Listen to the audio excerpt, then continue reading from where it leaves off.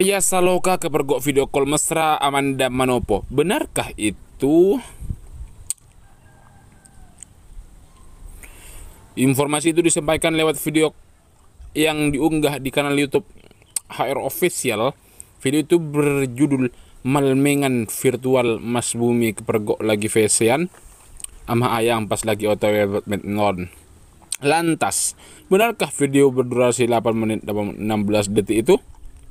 Usai melakukan penelusuran hingga video selesai, tidak ditemukan bukti dan informasi valid sesuai klaim di atas. Narator hanya mengungkapkan proyek terbaru Amanda Manopo yakni kupu-kupu kertas.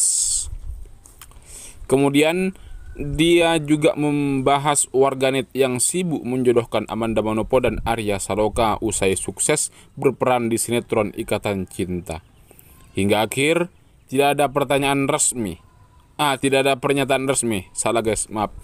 Yang mengungkapkan Arya Saloka kepergok video call Amanda Manopo.